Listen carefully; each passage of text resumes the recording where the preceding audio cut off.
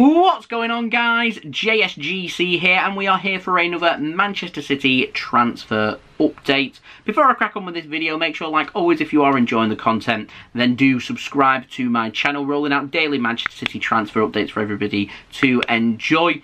Uh, so if that is something that interests you, then do subscribe to stay up to date with all the latest Manchester City transfer news first and fast this summer. Aiming for 20k subscribers. We're less than 600 subs away, so any help towards that would be fantastic. Also, social media links, they're in the description below and sliding across at the bottom of the screen if you want to go and follow me on my Twitter and Instagram. Email also in the description below too. If you want to hit me up for any sponsorship for any videos or any general business inquiries. Twitch link also in the description if you want to go and follow me on my Twitch. Leave a thumbs up if you do enjoy this video. Aiming for 400 likes. And lastly, don't forget also to leave your thoughts in the comments below of what you made of these transfers transfers. Without further ado, let's crack on with this video. We're going to start off with the outs, and it's very interesting. We've got an update on Bernardo Silva and Gabriel Jesus. Now, first, Bernardo Silva, the Athletic, they're saying that Bernardo, he still wants to leave.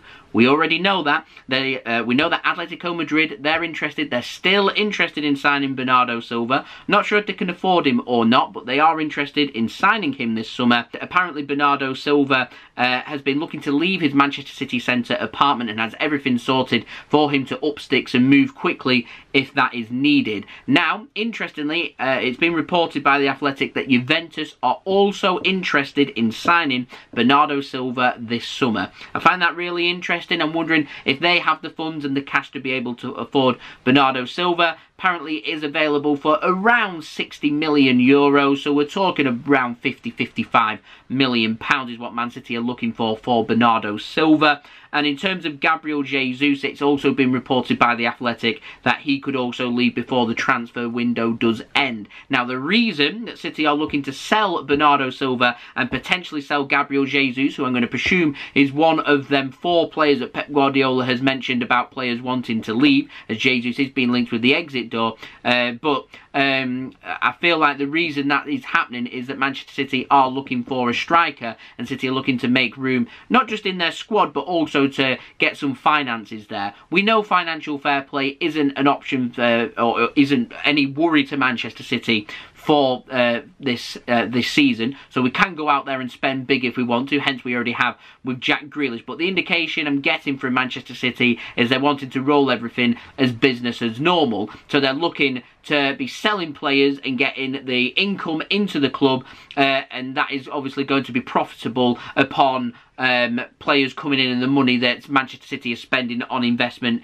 into the club. And so we're spending £100 million on Jack Grealish and we're spending £120 million, for example, on Harry Kane. The Manchester City are going to be looking to make a lot of money on their outgoings. We already know that City are going to be making roughly around £60 million already uh, with um, player sales uh, of players that aren't in and around the first team squad. Now, if Bernardo Silva was to leave and it was to be around £50 million, then that would take us up to around £110 million. So if we did sign Kane, we've still spent £110 million more um, than what we've managed to generate in player sales. And I've got a feeling City are looking to try and generate as much as possible from player sales this summer um, to try and help with the income so we can spend big to bring players in. We don't need to do that, but we are choosing to do that. So Manchester City's uh, business model and uh, how the money's being made isn't too badly affected, of course, by COVID, as we'll get a true indication over the next 12 months of just how bad the finances are. I mean, Barcelona are already starting to realise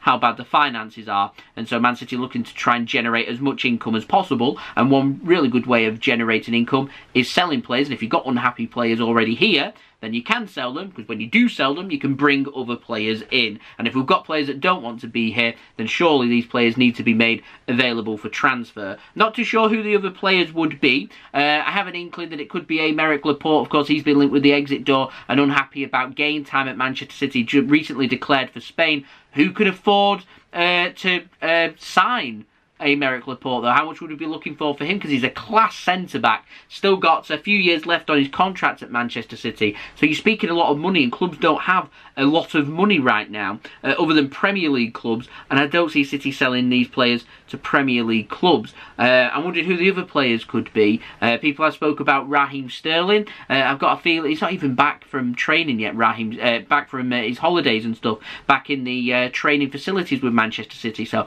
I'm not sure for Raheem Sterling. We know that he has uh, said that he has been unhappy, and I'm sure we'll get further clarification as the summer transfer window does go on.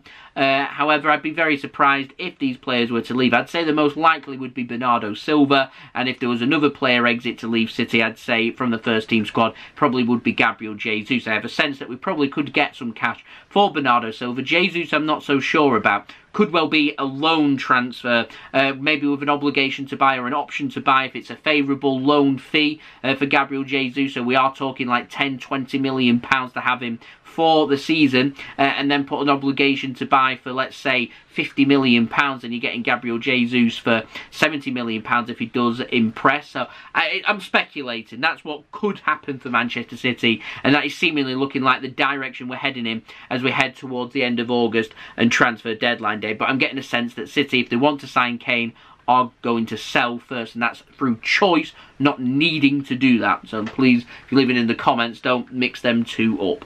Uh, anyway, moving on to the ins, we've got an Ilaix Moriba update. City have been linked with him, plays for Barcelona, has recently been dropped from their first team back to their B team. He's not happy about that, but Barcelona have done that because um, he wouldn't sign a new contract. So, yeah, there's six of one and half a dozen of the other going on here. Anyway, due to his contract demands and finances on Barcelona's behalf, they've accepted that they're going to let him leave. Uh, they're willing to listen to bids for him, and they are hoping to get some bids in before the end of the transfer window. We know that Manchester City are interested. They were earlier linked in the window, so have Chelsea as well. So I imagine Barcelona will be letting these clubs, including us, know that he is available for transfer, and it is something that we could make happen. Now, to be fair, I don't know too much about Moriba. I've never seen him play, so if anyone has, then please do let me know in the comments below on how good the uh, young player can be. Uh, but how it's coming across at the moment from the transfer. I don't know whether it's coming from a bit of Barcelona propaganda uh, and the media outlets leaking it in and out there to make it look unfriendly or whether um, it's genuine or not. How it's coming across is it's looking like uh, Moriba's um, motivation is to earn more money, which obviously being a football player and uh, working as well, you're always going to aspire to be that like that. Uh, but how much money are we talking? Is that going to be his main motivation? Uh, money and not playing for the club? I'm not too sure. Uh, and some will suggest, I'm sure, at Barcelona that he's chucking his toys out of the pram he's not got the right attitude. But like I said, could be propaganda, could be a bit of the truth in that. I mean, look at the split opinions on Eric Garcia. Some fans at City really rated Eric Garcia, uh, and then when he chose to leave, decided not to rate him anymore. People have called him a snake and they don't like him. Others have always said that he's got the potential to be there, but he's not quite there. Others have said he's a fantastic defender. So, yeah, lots of differing opinions. Anyway, uh, that's the situation that we're seeing with uh, Moriba, and if it is true that he does have a bit of an ego, I don't see Pep going for that. So we'll see. Pep's a Barca fan. He'll know all the ins and outs of Moriba. He'll be told by Barcelona. He'll have people at Barcelona that he trusts and stuff. So we'll see what happens there. Now, got a little update on Romelu Lukaku. City have been linked with him, but we look set to miss out on him. He's closing in on a £93 million move to Chelsea. That's been accepted according to Fabrizio Romano. Uh, Inter Milan have accepted this bid. Inter on all cash, no players, and Chelsea are just sorting a contract ready for that to be sorted uh, in the coming hours into days. It's not too far off uh, with that. And so Chelsea looking to add to their squad. So Lukaku's looking like a no-go. Uh, Lionel Messi also looking like a no-go as well. He's closing in on a move to PSG. He's believed to be heading to Paris for talks very soon, uh, including with his father, his agent, uh, as they look to try and secure uh, a deal for him to go to Paris, which would be a two-year deal with the option of an extra year. And so with us missing already out on Danny Ings, uh, Patson Daka has already left, of course, gone to Leicester City.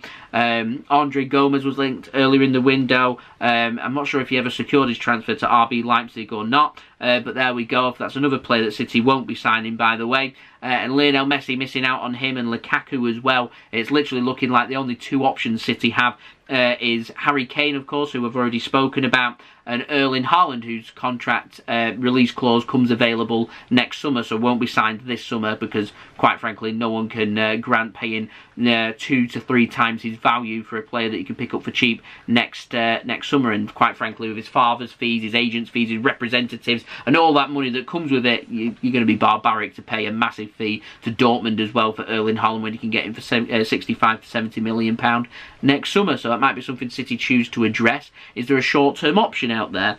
yeah, that's the direction we're going in. There's apparently unhappiness about Kylian Mbappe. He's going to be a very expensive transfer. I don't see us signing Kylian Mbappe either. So I, I don't know. I don't know. What I will say though, from that Community Shield match that we played against Leicester City, we do need a striker. So as soon as we get this sorted, the better. So there we go, that has been the video. I hope you enjoyed the video. If you did enjoy this video, leave a thumbs up so I know that you enjoyed this video. Aiming for 400 likes, that is the like goal. Also, let me know your thoughts in the comments below what you made of these transfers. Moriba, have you seen him play? Let me know in the comments below. Striker situation, Jesus potentially leaving, Bernardo leaving potentially as well. What are your thoughts? Let me know in the comments below. Subscribe to my channel if you're new around here. Press that red button, press the bell and put your push notifications on. Aiming for 20k subscribers, less than 600 subs away so any help towards that would be fantastic.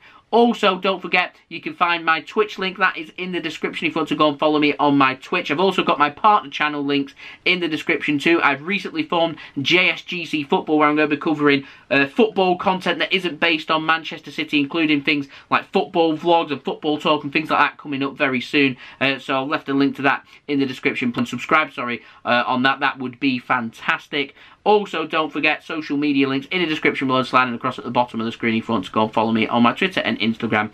Email also in the description below too if you want to hit me up for any sponsorships, for any videos, or any general business inquiries. And we'll be back again tomorrow for the next daily Manchester City transfer update. So I've been JSGC. Thank you everyone for watching. I hope everyone is safe and well.